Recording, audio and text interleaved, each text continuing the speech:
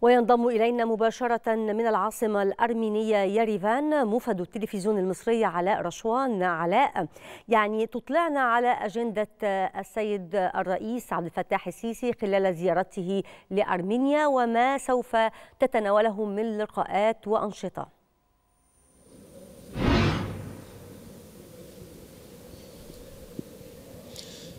يستهل السيد الرئيس عبد الفتاح السيسي فعاليات زيارته الهامة والأولى التي تعد زيارة لأول رئيس مصري إلى يريفان العاصمة الأرمينية منذ تأسيس العلاقات المصرية الأرمينية في عام 1992 يستهل هذه الزيارة سيد الرئيس باستقبال يجريه الرئيس الأرميني للسيد الرئيس بالقصر الرئاسي صباح غد لتعقد جلسة مباحثات أو قمة ثنائية يعقبها قمة موسعة بحضور وفدي البلدين ويشهد الرئيسان توقيع عدد من مذكرات التفاهم والتعاون بين البلدين في عدد من المجالات الاقتصادية.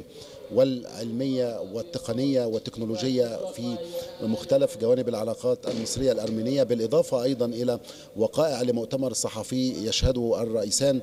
تحدثان خلاله إلى وسائل الإعلام حول ما دار من مباحثات حول مجمل العلاقات الثنائية بين البلدين وسبل دفع وتعزيز هذه العلاقات إلى آفاق أرحب خاصة في ظل توافر إرادة سياسية بين الجانبين لتعزيز هذه العلاقات في ضوء الذخم وأيضا في ضوء العمق التاريخي والروابط التاريخية التي جمعت مصر وأرمينيا والشعبين الصديقين. في الحقيقة هناك الكثير والكثير من المجالات التي من الممكن أن تتعاون فيها مصر وأرمينيا خاصة إذا علمنا أن هناك صندوق الدعم الفني التابع لوزارة الخارجية لدول الكومنولث والذي يقدم العديد من الخبرات والقدرات لبناء الكوادر الأرمينية في عدد من المجالات ليس فقط المجالات الدبلوماسية وإنما أيضا المجالات الفنية والتقنية في مجالات صناعة الدواء في مجالات السياحة في مجالات النقل وغيرها من هذه المجالات الحيوية. حجم التجارة البينية بين مصر وأرمينيا من المنتظر أن يشهد زخما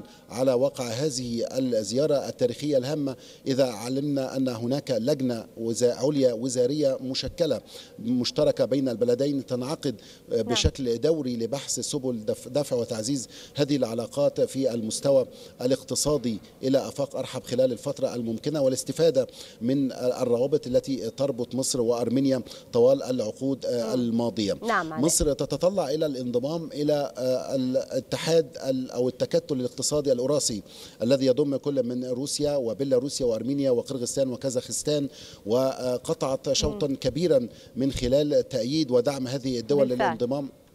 نعم علاء إلى هذا التكتل الهام.